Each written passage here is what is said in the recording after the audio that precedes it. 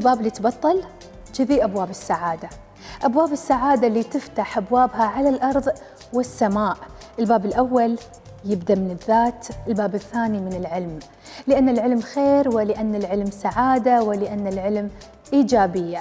السعادة نتنفسها نسعى لتحقيقها ونحس بها وطن السعادة يفتح أبوابه بكل خير مشاهدينا لكم عبر حلقة جديدة تجمعنا معاكم. حياكم.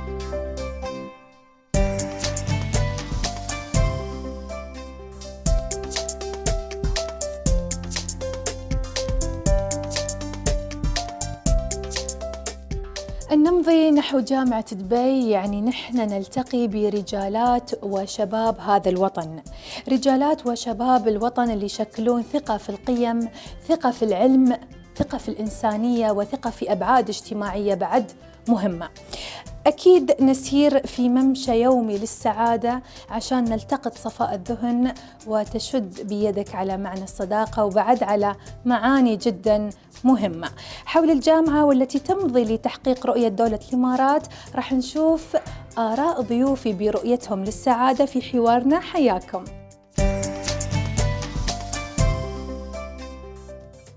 وحول دور الجامعة رحب بالدكتور عيسى البستكي رئيس جامعة دبي وصاحب الوجه السمح والابتسامة الإيجابية. مرحبا بك في وطن السعادة. يا مرحبا يا نور معنا. أكيد والسيد حكمة البعيني رئيس مجلس السعادة والإيجابية. مرحبا بك في وطن السعادة. يا هلا. يا هلا منورين معنا. سعداء. طبعا. ليش؟ آه السعادة مو بشيء آه صعب لأن أصل الإنسان المفروض يكون سعيد. فالمشكلة الناس يحطونها عوائق من أجل عدم إبراز السعادة. يعني نحن نعقدها. إحنا نعقدها بالضبط. فالإنسان يتعامل مع الناس بكل أريحية يحترم الناس يحترم نفسه يخدم الناس ويعطي ودائما دون الطلب الأخذ بمقابل. هذا كله نوع من أنواع السعادة الحقيقية. نعم.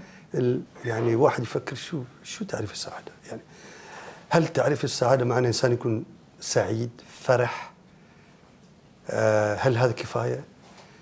هناك سعادة حقيقية هناك سعادة غير حقيقية أو خيالية. زائفة؟ زائفة نعم. فمثلا السعادة الحقيقية أنا أشوف السعادة الحقيقية أن إنسان يسعد ويسعد غيره.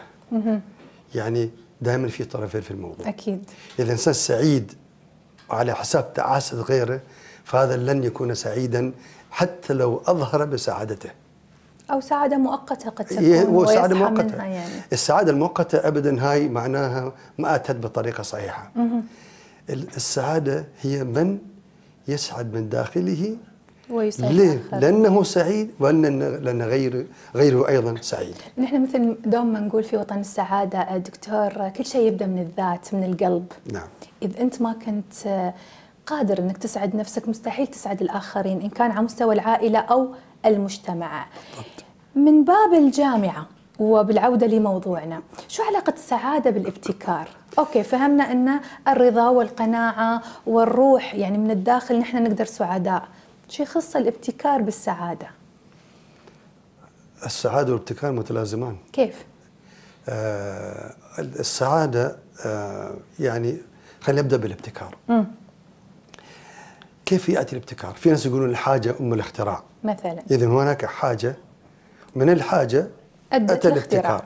الابتكار أو اختراع زين آه الحاجة اللي الحاجة اللي في تعاسة لا يمكن تؤدي الابتكار ولكن الحاجة اللي الإنسان يحس في أمل لهذه الحاجة مع أن هناك سعادة داخلية من أجل أن يبدع ويبتكر. فإذا السعادة الداخلية هي اللي تؤدي إلى الابتكار. نعم. وأيضا النتيجة الابتكار أيضا السعادة للآخرين قد لا- تكون لا- أو للشخص وللآخرين صحيح صحيح إذا. متلازمين. نعم. آه لا يمكن نشوف حد مبتكر وغير سعيد. صعبة. صعب معادلة جداً. ما تركب يعني. ما لا يمكن لا يمكن.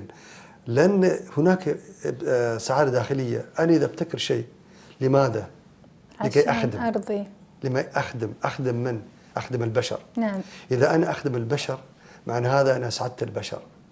وهاي سعادة البشر تعطيني أنا السعادة أيضا. عشان شي يقولون سعادة العطاء. أعمق وأغنى وأغلى من سعادة الأخذ السيد حكمة يعني ما شاء الله جامعة دبي تميزت بمبادراتها آه، من آه، منطلق ولتحقيق أهداف السعادة المجتمعية وحتى الداخلية والخارجية شو أهم مبادراتكم؟ بداية آه، بدي أحكي عن موضوع مجلس السعادة والإيجابية بس تعطيني لحظة لأنه أكيد. هو فريد من نوعه نعم. آه هذا المجلس آه أول مجلس في أكاديميا في في مجال التعليم اللي فيه تمثيل من الطلاب وال والخريجين وأيضا الأساتذة بالإضافة للموظفين نعم. يعني مجلس السعادة فيه ريبريزنتيفز أو ممثلين من كل الفئات الموجوده بالجامعة نعم. فنحن نسعى إلى إسعاد المجتمع الأكاديمي الداخلي. وهي هي المبادرة نعم. الرئيسية ولكن كيفية اسعاد ال- ال- العاملين في مجال الجامعة هذه مهمة طويلة وشاقة ولكن نحن قررنا إنه هالاربع فئات الرئيسية لازم يتعاونوا فيما بينهم لإيجاد هذه السعادة الكاملة المتكاملة يعني نحن كجامعة بنحب نساعد الموظفين وتدريبهم على كيفية إسعاد الآخرين بمن نعم. فيهم الطلاب والأساتذة والخريجين وأيضا بهمنا إنه يكونوا طلابنا سعداء أكيد. لأنه بسع- بسعادتهم نحن كموظفين وكأساتذة وكإدارة نسعد. نسعد. صحيح. فهي هي هي سايكل متكاملة ونسعى فعليا بجدية إنه آه، نحاول قدر الإمكان آه، أن نرتفع إلى هذا المستوى. مستوى السعادة الأكاديمية لأنه السعاده الأكاديمية تختلف عن السعادة الأخرى ببعض الأسس الدومينز ونحن في جامعة دبي مصرين على اكتشاف الأسس التي تسعد هذه الفئات الأربعة. نعم. في جامعة دبي وفي الجامعات الأخرى لأنه مثل ما الدكتور عيسى بيقول نحن شغلتنا الأساسية مش بس جامعة دبي نحن جزء من المجتمع أكيد منظومة. وهدفنا هدفنا أنه نسعد المجتمع. طيب خلينا نتكلم عن ردود الأفعال أو نتاج كل سعيكم مبادراتكم. كيف الإقبال على الموضوع؟ في البداية كان صعب شوي لأنه طلابنا ما استوعبوا شيء فكرة؟ جديد عليهم. آه شيء جديد.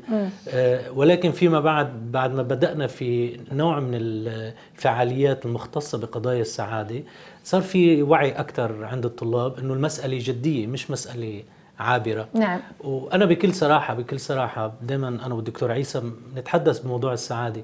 ديننا وثقافتنا ومجتمعنا مؤهل ليكون آه، رائد من رواد السعادة في العالم. بالعكس نحن إذا إذا استطاعت جامعة دبي أن تبني تبني هذا المشروع الكامل المتكامل لإسعاد البيئة التعليمية س- سنتمكن أن نصدر هذه المعرفة إلى الخارج. مضبوط. يعني تخيل جامعة دبي يمكن يوم من الأيام تصير الجامعة التي تصدر كيفية إسعاد المجتمع الأكاديمي في العالم. إن شاء الله. وهذه شغلة مش مستحيلة على الإطلاق. نعمل جديا على إن شاء الله على لكم كل. التوفيق. تستاهل جامعه جامعة دبي طبعا. في الختام مستقبلا في مش... مشاريع تخص السعادة أو مبادرات ستكون مختلفة من نوعها لجامعة دبي؟ إحنا قبل ما نتكلم مستقبل إحنا بدأنا بادرة. آه اليومين نسمع دائما دعايه في آه إذاعة من الإذاعات. ان هيئه الصحة تحث الناس يمشون على الأقل عشر دقائق ثلاث مرات في اليوم. نعم. مجموعة نص ساعة. نعم. وهذا موضوع صحي 100% وكل المنظمات الصحية تحث على, على- الم- المشي على الأقل نص ساعة في اليوم. إحنا قبل أربعة أشهر إحنا بادرنا بهذا الشيء. قبل مبادرة اي حد ثاني ال- المشي في العمل. ووك ات ورك في العمل كل يوم من واحدة لواحده ونص. يعني بالضبط واحدة كل الموظفين والدكاترة مع بعض. نمشي. نمشي نص ساعة ما شاء الله. في خط سير وكل يوم. حتى في البداية يعني ممكن شيء طريف يكون يعني. في البداية أول ما بدينا أول يوم طلبوا مني ليش ما نخلي كل أسبوع مرة؟ صح. فطبعا قلت أنا ما أديت الغرض إذا خليت كل أسبوع مرة. صحيح. الغرض إن الموظف أو الدكتور أو أو الطالب يطلع من منظومة معينة في العمل يطلع إلى خارج منظومة ثانية من mood فنغير من إيه من mood إلى mood نغير في أسلوب العمل لكي ينشط مرة ثانية يرجع. صحيح يرجع fresh رقم رقم اثنين يمشي صحيا. في اذا كل يوم يحصل نص ساعة حتى أستاذ حكمت كان يمشي في الليل نص ساعة.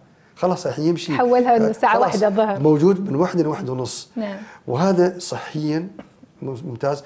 أكيد. أنا أبغى أخلق آه، آه، منظومة سعادة في الجامعة من كل ناحية. مو بس أكون سعيد مو بس أكون سعيد أيضا أكون صحيا سعيد بعد. العقل السليم في الجسم, الجسم السليم. السليم. العقل السليم ي- إيه. يستوعب الإيجابية استيعاب الإيجابية يؤدي للسعادة. هي يعني مربوطة ببعضها البعض والشاعر قال إذا درست فله سواعة فإن اللهو من تعب العقول جمامه حل سانك إيه. وفعلا يعني فعلا ال- ال- العمل أحيانا يحتاج إلى واحد يأخذ جزء من الفسحة أكيد. وهاي. الفسحة حطيناها في شيء مهم اذا هاي هي البادره اللي بدأناها وفي- وأعتقد ناجحة يعني وفي نعم. المبادرة الأخرى هي آه، القراءة في جامعة دبي جميل. مثل ما في عندنا walk at work كمان read a book read at work وفعلا بدأنا فيها وكانت جزء من سعادة الموظفين ونحن يعني عم نروج مبدأ اقرأ أكثر تسعد أكثر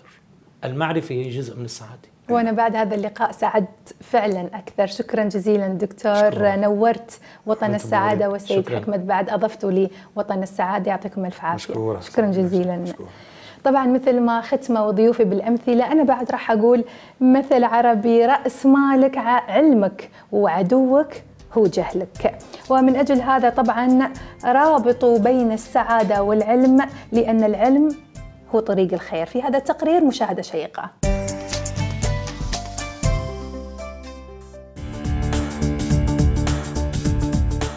شعبي ثروتي. يوم قالها المغفور له الشيخ زايد بن سلطان آل نهيان طيب الله ثراه كان يدرك أن معنى بناء الإنسان ومعنى العلم أيضا.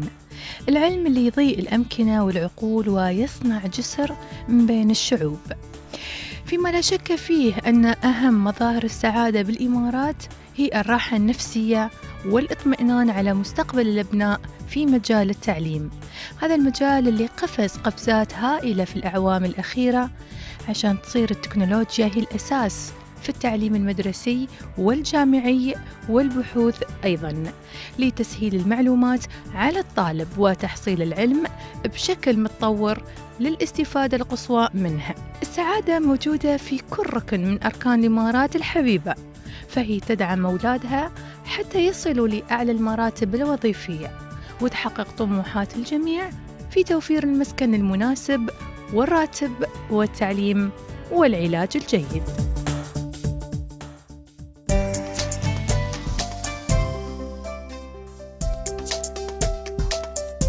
غاية العلم هي الخير والسعادة.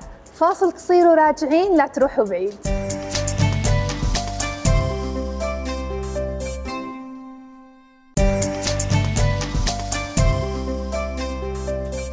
مرحبا بكم من جديد مشاهدينا وفقرات وطن. السعادة مستمرة ومع أحلى فقرة صناعة السعادة. يوم نقول الدكتور سليمان الجاسم يتراءى أمامنا وجهه المبتسم ونظرته الثاقبة ومواقفه المشرفة من قضايا الوطن من قضايا الإنسان ومن قضايا المجتمع. تقلد الجاسم مناصب ومسؤوليات في العديد من المجالات منها المجال التربوي المجال التعليمي والثقافي والسياسي وهو مؤلف وكاتب ومسرحي وباحث ومحاضر. والأهم من هذا كله أن الدكتور شاهد على المرحلة. الدكتور سليمان صار جاهز وخديجة سليمان جاهزة. إذا جاهزين حياكم. دكتور سليمان الجاسم مرحبا بك في وطن السعادة. أهلا وسهلا بكم. نور معنا شكرا جزيلا وما نيل المطالب بالتمني ولكن تؤخذ الدنيا غلابة. شو يعني لك هذا البيت الشعري؟ آه طبعا يعني آه آه إحنا لا نبقى فقط طول وقتنا نحلم وننام نعم. آه أو نتمنى ولا نفعل. طبعا كثير من الأمور ممكن أن تتحقق نحلم فيها لكن يجب أن نقوم ثاني يوم مثل ما قال الشيخ محمد الله يطول بن راشد الله يطول عمره في كتابه. إن إحنا نحلم في المساء وثاني يوم نقوم لتحقيق ما حلمنا به. نسعى. فلذلك يجب أن نسعى بتحقيق كل ما نحلم به ونجتهد حتى نحقق كل ما أحلامنا. إليه فلذلك إحنا في, الإمارات الآن اللي حصل الآن آه، ال- ال- التطور والتنمية و- واللي حصل الآن من مظاهر آه، تنمية كبيرة جدا في الإمارات نتيجة جهد كبير بذل آه، مبادرات بدأت آه، إبداع خلق ابتكار كل هذه القضايا خلقت لتحقيق كل ما تتمناه ويتحقق نحلم به. يعني إذا نلخص كلامك دكتور نقول الفرق بين التوكل والتواكل يعني أنت تتوكل لتحقيق هدف معين وتسعى له. وتسعى له لكن تتواكل تتآنى عنه. وتتراخى لن تحقق اي تنام أي- وتحلم. ترقد وتحلم وتقول ليش ما قاعد أن هذا الحلم ثاني يوم تقوم ثاني يوم أكيد. لتحقيق الحلم اللي حلم فيه بالمية. أتوقع جهد اجتهاد مثابرة عطاء آه، خدمة كل هالقضايا تسمو بعطاء الإنسان وتخلق منه إنسان معطي ومنجز في حياته. دكتور آه، آه، خلني أقول ثيمة أو عنوان حلقتنا لليوم هي العلم والسعادة. السعادة مربوطة في كل شيء. اليوم نحن رابطينها بالعلم. فأريد نتكلم عن التعليم والسعادة وراح أضيف شيء من عندي. وزارة التربية والتعليم. يعني التربية قبل التعليم اللي يؤديان للسعادة. ليش هذه الفلسفة كلها؟ أريد أرجع معاك سنوات للخلف. أريد أعرف تأثير تربية المنزل والأسرة والأب والجو العائلي على الدكتور سليمان اللي زرعت فيه سمات وصفات الشخص اللي قادر أن يتعلم عشان يكون سعيد. نقدر نرجع شوي ورا نرجع آه، إلى آه، ستينيات القرن الماضي. نعم. في البدايات تعرف كانت الحياة صعبة جدا عندنا. صحيح. آه، ال- الفرص الحياة كانت محدودة الوسائل كانت محدودة جدا أو كانت نادرة آه، التعليم المدارس ما كانت متوفرة بشكل ما هو متوفر الآن نعم الح- الحياة الرفاهية الكهرباء الماء السكن النقل وسائل الترفيه لم تكن موجودة عندنا مضبوط. فهذه كانت تحديات كبيرة جدا كان يواجهها رب الأسرة دائما كان يعتمد اعتماد كلي على ابنه أن يعمل. آه سواء كان يعمل في الحقل أو يعمل في البحر أو يسافر في الخارج يعمل حتى يجيب مردود مادي لرعاية الأسرة. الأسرة نعم. لكن آه، ال- الوالد الله يرحمها الوالد الله يرحمه. آه، كان يقرأ قرآن ومتعلم ويكتب ويكتب شعر وتاجر كان. فلذلك كان دائما يأتي إلى دبي فعرف من خلال زياراته إلى دبي وتعامل مع التجار في دبي أن التعليم طبعا في دبي والشارقه وفي الإمارات الشمالية سبقتنا نعم. في في في في مضمار التعليم في المنطقة الشرقية في البجيره فكان يأتي ويتعامل مع كثير من التجار ومن هنا رجع بثقافة أن يجب أن نعلم أبنائنا فدخلنا آه، ال- ال- المدرسة مدرسة قراءة القرآن في بداية ال- نعم. الستينيات نعم. درسنا القرآن وفتحت أول مدرسة بداية الستينيات في خرفكان وهنا كان التحدي التحدي كيف نستطيع أنا كيف أستطيع أنا كرب أسرة أستغني عن أبنائي أرسلهم يتعلموا وبعيد عن المدينة اللي أنا القرية إحنا عايشين. إحنا عايشين في قرية اسمها مربح هي قريبة جدا من خرفكان نعم. الآن بالسيارة نأخذها يمكن يكون سبع دقائق ولا خمس دقائق. كانت في السابق يمكن ساعة تأخذ فيها لأن الطريق كان غير معبد. كهرباء ما كانت موجودة سكننا عن جدا ه- يعني هذه كلها فعلاً كان في تحديات، صعوبات. المدرسة الكهرباء آه، آه، الحياة آه، وسائل التعليم ما كانت موجودة. كان صعب. الطرق كانت يعني معدومة. آه، وسائل الثقافة ما كانت موجودة. التحدي يزيد من لذة السعادة الصعوبات لتحقيق شيء جميل. الحين نحن في زمن وعصر الحمد لله والشكر طبعا ولكن أريد أقارن. نحن في زمن الرفاهية. نريد نوصل أي مكان نفس ما ذكر الدكتور خمس سبع دقائق نحن واصلين نعم. عادي ما يعني لي شيء. وصلت قبل كان يحقق سعادة شوفي يعني هذا خديجة ما حب يعني ما بي- بيقدر هذا الشخص اللي الشخص اللي عايش في تلك هذا الفترة بالضبط- بالضبط. فيقارن الآن بالفترة اللي كان سابق فيها إحنا كنا خلصنا المتوسطة جينا درسنا الثانوية في الشارقه في دبي درسنا سكننا في الشارقة لأنه ما كان عندنا مدرسة ثانوية هناك هذا. تحدي كنا نقطع الطريق من آه، الفجيرة ومن خرفكان إلى الشارقة خمس ساعات نأخذها خمس ساعات نمر الشخص اللي يأتي يعني يسافر إلى الشارقة أو إلى دبي أو يرجع دبي الناس تجي تهنيه بسلامة العودة والله. يعني هذه صعوبة الحياة الان تقطعها تروح تشرب قهوة في الفجيرة أو. تروح تمشي في تتمشى في راس الخيمة كلها ساعة أو أقل من ساعة تأخذ فيها ما بيقدر القيمة هذه إلا الشخص اللي عاشها. اللي عاش تلك الفترة ويعني عاصر المعاناة آه، اللي اللي والتحديات التحديات اللي, اللي اللي. عاش في الفترة السابقة والآن يقدر فلذلك أعتقد يعني كنا نتمنى من أن نعلم أبنائنا كيف كانت الحياة في السابق لا نفصلهم عنها. يعني كثير للأسف إيه. من أبنائنا عاشوا في أسر يعتقد انه خلاص يعني هذا نما عليه هم وآبائهم وأجدادهم. لا الآباء والأجداد عاشوا. فترة معاناة ومثابرة إلى أن حققوا. فهنا الآن تخلق سعادة عند مجتمع عند أبنائنا نتيجة المقارنة بين شو اللي حصل في الماضي وشو الإنجاز اللي تم الآن والسعادة تستطيع أن تقيسها بمقدار ما قدمته من خدمة للاخرين أكيد. كيف تستطيع الآخر يشعر بالفرح؟ أنت تشعر بالسعادة. العطاء العطاء, العطاء، سعادة نعم، العطاء. نعم. فعلا يعني لقاء واحد لا يكفي معك دكتور. آه وقتنا شوي ضيق فأريد باختصار آه على قد ما نقدر آه لأني أريد أستفيد منك في هذه الحلقة آه نخرج شوي عن الخارجية وعن الديوان. آه الدكتور سليمان الإنسان الكاتب. الإلهام عندما يكتب عندما يلهم الدكتور سليمان يسعد. في السابق لم تكن وسائل الثقافة والتعليم موجودة عندنا فهذه خلقت منا إحنا أيضا آه، تحدي كبير. يجب إذا كنت قا- قادر أكتب يجب أن أكتب في المسرح. تبدع. إذا إذا إذا- نعم. إذا كنت أنا إداري يجب أن أدير في مؤسسة معينة. إذا كنت في في في عمل تطوعي يجب أن أشتغل فيه. يعني ما أقتصر فقط وجودي في الوظيفة اللي أنا فيها يجب أن أت... يعني أمد ايدي لكل نواحي. الحياة و... و... وأبدأ وأساهم أيضا يعني يمكن وأساهم. قلة الفرص دكتور تخليك تعطي أكثر في كل مجال والمتوفر كان محدود هذا هو، جدا هذا المتوفر كان هو. موجود مم. فلذلك كانت صارت لي محاولة في سبعة في 78 آه، كتبت آه، آه، سبعة صفر مسرحية بال- بالشراكة مع أخوان آه، كتابة جماعية نعم. وبعد بعد ما نجح العمل هذا كتبت العمل الثاني غلط في غلط مسرحية أيضا نفذوا؟ نفذ المسرح نفذوا. وشاركنا في مهرجان قرطاج المسرحي ما شاء الله. في في تونس وحصلنا على جوا- جوائز فيه وقدمناه في مختلف الإمارات.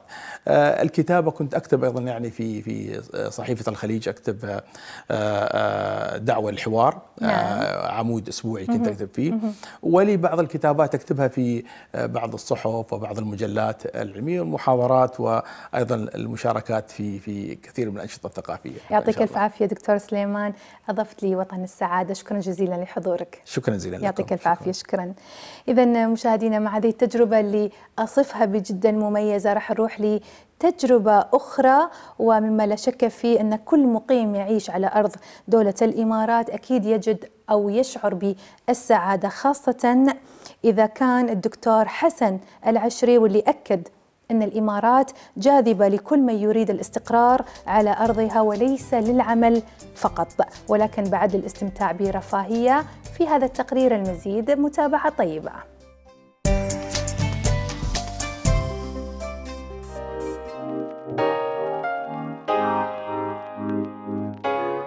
حقيقي دولة الإمارات أول ما آه، وصلت هنا آه، حسيت باختلاف غريب جدا. بمعنى إن لقيت العالم كله موجود على أرض الإمارات. لغات مختلفة أديان مختلفة ثقافات مختلفة. لا يمنع أن يكون في شيء مشترك بيجمع كل هؤلاء الناس أن هم يعيشوا. الشيء اللي هو بنسميه الإنسانية. الثقافة بتعلمني بقى إزاي إن أنا أصل للسعادة الحقيقية. السعادة الحقيقية بتكمن في إيه؟ إن أنا أعرف أنا مين وأنا موجود ليه في الدنيا وإيه الغاية من وجودي وإيه هو مصيري بعد كده وأعمل على أساس إن أنا أحقق الغاية اللي أنا موجود من أجلها. الكل بحس إن هو كل واحد عارف اللي له وعارف اللي عليه وبيؤدي المطلوب منه. وطبعا بياخذ ال- المفروض إن هو ياخده فالكل بيعيش حياة هادية وحياة سعيدة ومستقرة.